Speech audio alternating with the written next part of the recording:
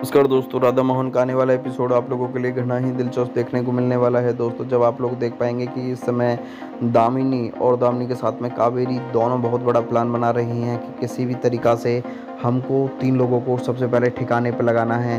पहली कोई और नहीं, बल्कि गुनगुन, दूसरी राधा और तीसरी जो कि कवर से निकाल कर यानी जहाँ पे बॉडी रख रखी है तुलसी की, उसको। जी हाँ दोस्तों, आप लोगों को बता देना चाहता हूँ कि इस समय ऑफ़िस का पूरे का पूरे कार्यभार दोनों संभालते हुए नज़र आने वाले हैं, यानी कि आखिरकार मोहन और मोहन की माँ की पूरी निगाहें इस समय ऑफ़िस पर होने वाले हैं। क्योंकि दोस्तों, ऑफ़िस में जो जो एक्टिविटी हो रही हैं, इस समय सभी एक्टिविटी पर पूरी तरीक़ा से ध्यान देती हुई नज़र आ रही है इस समय मोहन की माँ।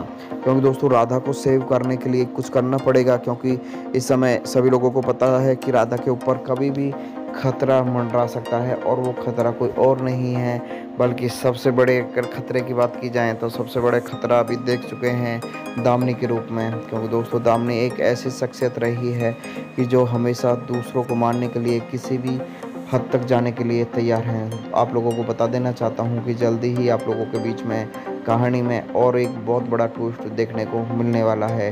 सभी लोग बेहद इस समय चिंतित नज़र आ रहे हैं कि कभी भी कुछ भी हो सकता है और कुछ भी का मतलब कुछ भी नहीं, बल्कि बहुत कुछ भी देखने को मिलने वाला है दोस्तों। आप लोगों को बता देना चाहता हूँ कि इस समय राधा बोलती हुई नज़र आने वाली है। मोहन से कि मोहन जी, अगर तुम हमारी बात मानो तो एक बात बताएँ, हम आपको, राधा ये भी बोल देगी कि दामनी पर पूरी नज़र रखो, लेकिन दामनी कुछ ना कुछ करना ज़रूर चाहती है।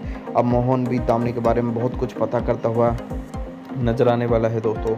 साथ दोस्तों, आप लोगों के सामने मैं हूँ रोहित नागर। जी हाँ आखिरकार मेरे यूट्यूब चैनल को सब्सक्राइब करने के बाद में वीडियो को लाइक करें